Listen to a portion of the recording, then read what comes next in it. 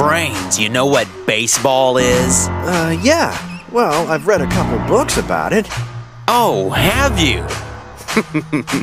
well, then I'm sure you'll be the next all star on your team. Hey, you can have him. My team just filled up. Oh, yeah, thanks. Come on, give him a break. I bet he could think up a bunch of really great strategies since he's such a smart. Just get onto the field. Mom told me not to show off my real power, and I'm really trying not to. But why should I hide it? This whole fitting in thing is really weird. Hope you're ready for a strike.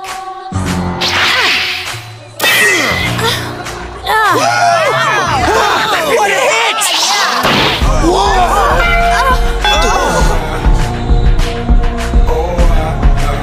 Okay. Nice and slow.